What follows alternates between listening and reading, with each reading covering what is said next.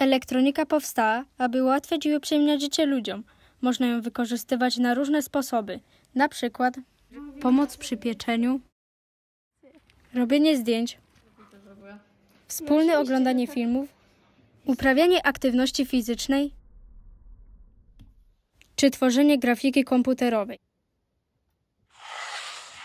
Niestety, większość młodego społeczeństwa korzysta z niej w nieodpowiedni i niekontrolowany sposób, jak siedzenie przed telefonem w towarzystwie, przeglądanie telefonu przy nauce,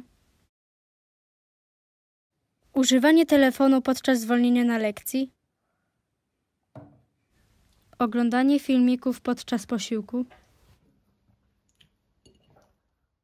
wieczorne granie na laptopie, czy ciągłe przeglądanie telefonu w innych sytuacjach. Sednem problemu jest to, że korzystamy z niej za dużo. Badania wskazują, że statystyczny Polak spędza ponad 6 godzin dziennie przed ekranem.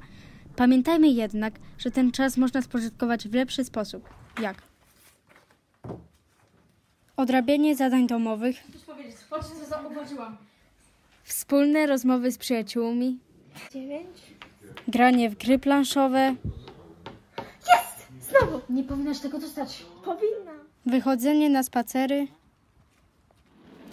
wykonywanie obowiązków domowych, Tak, ale one są czy takie integracja małe. Ja podczas posiłku. Że bierzesz sobie dwa talerze, tak je przykrywasz i bierzesz tak sofach.